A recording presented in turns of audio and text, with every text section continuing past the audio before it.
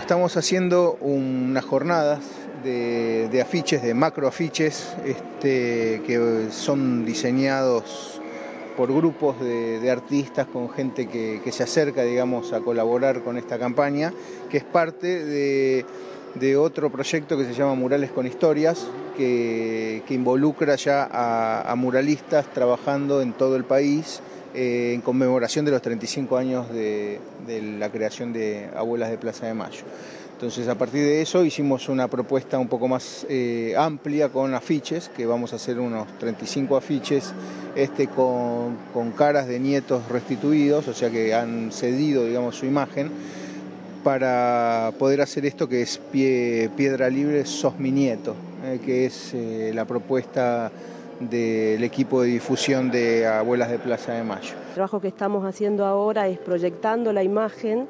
de nietos eh, restituidos por abuelas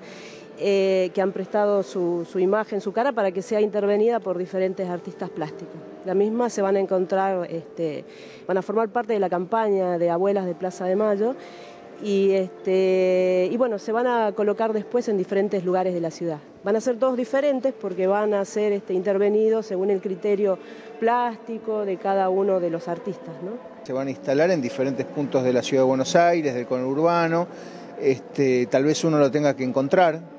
este, en las alturas, este, escondidos en, detrás de, digamos, en un callejón, este, o sea, la idea de, descubrirlos, de, generar el piedra libre también es, parte de la propuesta, ¿no? Algunos estarán por acá por, las instalaciones de, la Exesma, este, pero, pero justamente eh, es hacer un, como una especie de llamamiento a, la reflexión de esa generación de, chicos que ya están por los 35 años, que que son potenciales nietos, eh, a sus hijos, a sus sobrinos, a,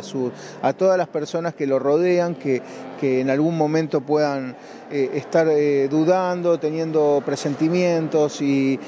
no se atreven por ahí a, ya romper con su, estado de vida, con su ya están ya gente grande, ya muchos profesionales por ahí o mucha gente que ya tiene muy avanzada su, su su expectativa de, vida y de crecimiento, entonces replantearse su identidad es, es, un, problema que debe afrontar y que se tiene que hacer de una forma cariñosa, de una forma este, de, esa búsqueda, de ese, de ese completar, digamos, esa parte identitaria que por ahí parece que le está faltando o presiente que le está faltando.